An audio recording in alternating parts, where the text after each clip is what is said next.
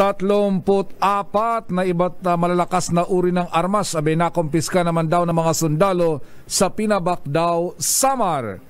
Ang detalye ng balita mula kay Jimmy Angay-Angay sa Tacloban. Jimmy?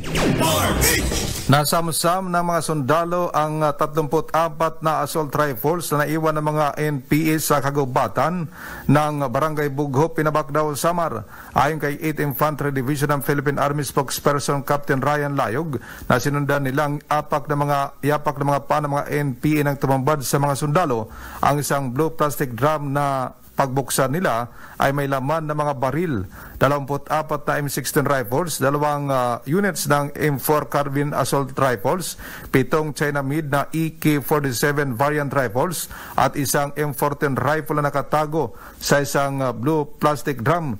Hindi na dala ito ng mga NPA dahil sa kakulangan ng kanilang manpower. Pasalamat naman si 801st uh, Brigade Commander Colonel Leonard Lilina sa mga informant na nagbigay ng informasyon para makumpiska ang mga baril. Pinuri naman ni 8th Infantry Division ng Philippine Army Commander Major General Edgardo de Leon ang tropa ng 801st Infantry Brigade sa malaking accomplishment na kanilang uh, nakuha. Mula sa Action Radio Tacloban ito si RS32 Jimmy Angay-Angay. Tuloy-tuloy sa pagbabalita, tuloy-tuloy sa serbisyo. Sama-sama tayo, Pilipino.